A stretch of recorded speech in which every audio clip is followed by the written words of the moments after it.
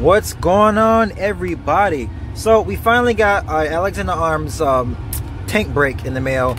It's taken quite a bit of time to get here. Let me open it up and show you guys how it looks. Um, today I'll be getting it put on. All right, there's a tank brake. That's how that looks. So yeah, we'll be installing this today on our uh, on the AR-15, which is chilling in the back. So once that is finished, we'll finally be able to go to the range for a, for a range day. Yeah, so I'm going to get that installed now. When the tank brake is finished, we'll finally be able to go to the range and uh, take a few shots. I just got my ammo in the mail from Bud's Gun Shop. It, I ordered that ammo like a month ago, so everybody just slowed shipping. Even this uh, muzzle brake was two days shipping, and it took three weeks to get here. So I mean, like, it is what it is. That's what we got to deal with. So um, yeah, I guess I'll see you guys next slide when it's uh on the gun back there.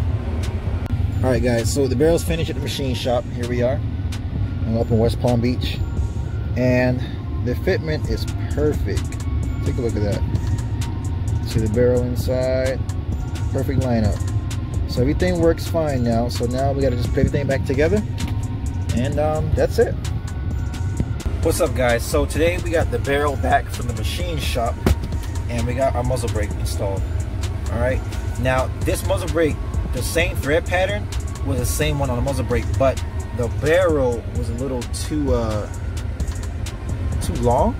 So they took out, I want to say it, maybe a, less than a half an inch on the barrel and um, got it to fit perfectly. If you see the barrel inside, it fits perfectly because the barrel would screw on, but you can only get like three or four turns on there. So that's basically what we had to get done. We had to get a machine down just a tad bit on the barrel to make it fit.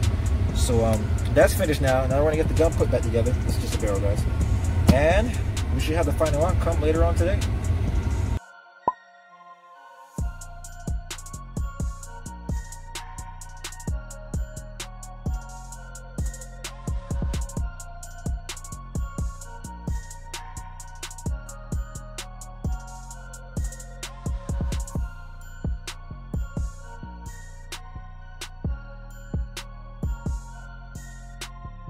What's going on guys? So finally i can tell you guys the 50 beowulf is finished. It's been about almost a month i've been working on it. So um yeah everything's done.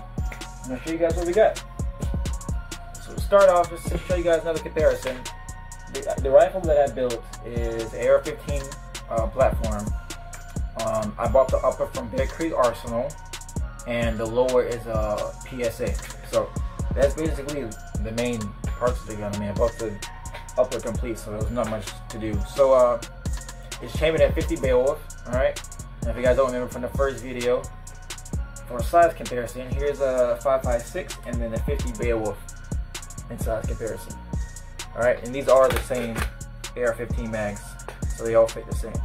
All right, 50 Beowulf, 5.56. Um, I had some issues with the gun and it lied with uh, Bear Creek Arsenal. The gas block, once I took it to the machine shop to get some work done, um, turns out I was missing five of the set screws for the gas block. So I contacted the customer service and I got a hold of them and uh, they shipped it out. So they shipped out the screws that I needed that was missing. I don't know who's working at Bear Creek right now, but hey man, you're, you're messing up orders, man. You're messing up orders. Because my, my friend bought the AR-15 and he had three out of five screws and two of those screws were, were, uh, were loose and a gas block. So whoever's working on the gas block at Bear Creek Arsenal, uh, hey buddy, tighten up. So that's that.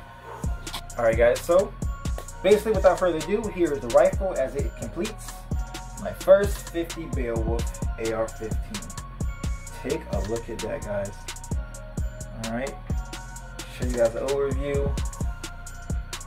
This gun is nice. It's built the way I like it personally. Now with this build, we're going to basically, um, I'm going to use this as my hunting gun. Chris, why are you using that 50 Beowulf for hunting? Well, it's different. So the first trip we have planned up real soon is a hog trip. So I'm going to take this gun to hog hunting. We'll see how the 50 Beowulf does um, with the charging hog. So that's the first thing on the list. Alright, so as you guys can see, I got the dust cover on there, 50 Beowulf. Hold on. Beowulf. Alright. We got the Alexander Arms muzzle brake, big tank muzzle brake. Now, there was an issue with this fitting on the Bear Creek Arsenal upper.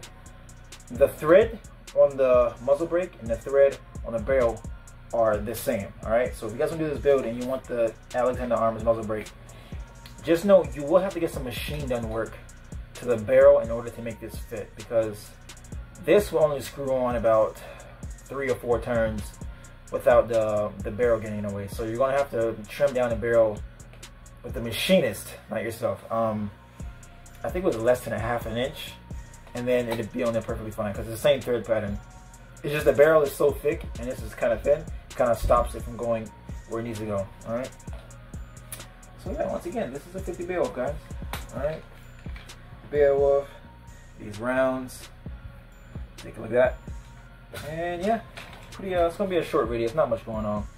Um, Bear Creek Arsenal was cool, they sent everything out customer service was okay. I emailed them the first day I found out they were missing screws. Got no email back. And then the second day I called them like first thing in the morning. It was like 9.30 a.m. And um, I got a hold of somebody and she sent it out. It's two day shipping and it should be here uh, today. But I don't need those screws because I had some extras in my um, gun cabinet. So I used the spare screws. I have another AR-15 to finish it, guys. And that is it. If you guys like this build, trust me, there will be others. Um, look forward to the hunting videos. This will be my new hunting rifle. So if you're into that type of thing, um, subscribe. Yeah, that's it. So without further ado, take care guys. Please like, share, subscribe. Peace. Freeze.